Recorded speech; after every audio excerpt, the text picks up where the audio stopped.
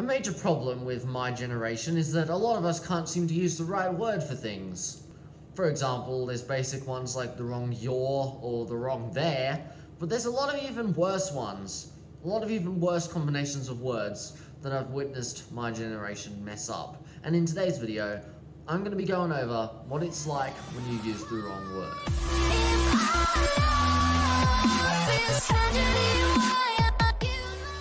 Yo, what is up everyone, Codezz here, and today we are covering what it's like when you use the wrong word. Let's get into it. Yo mate, did you see they are new basketball hoop? I'm sorry, what, what did you just say? They are new basketball hoop?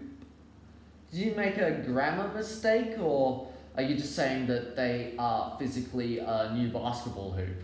Because I don't think we know any people who suddenly became a basketball hoop.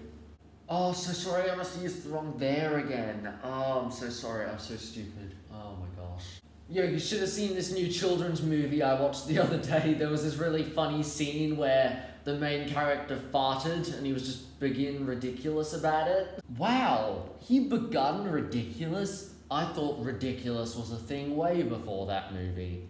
Oh, sorry, sorry, I meant being, not begin. Oh my gosh, I always mix around those two letters. I'm so sorry. Just don't worry about your friend when his being annoying. His being annoying what? Oh, so sorry, I meant he is, like, the contraction of he is, he's. So sorry, I messed that one up as well, didn't I? So, as you can see, there are plenty of wrong words people use that are just downright incorrect. And I mean, the only way we can get them to say the right word is if we politely correct them. Not sarcastically like the guy in that skit did. Anyways, if you did enjoy today's video, please do slap that like button, hit that subscribe button, and tap the notification bell so you never miss a video by me. And if you have any suggestions for wrong words that people use, then put those in the comments section down below because I'd like to make a part two if you guys want one. Anyways, I'll catch you all next time. Goodbye.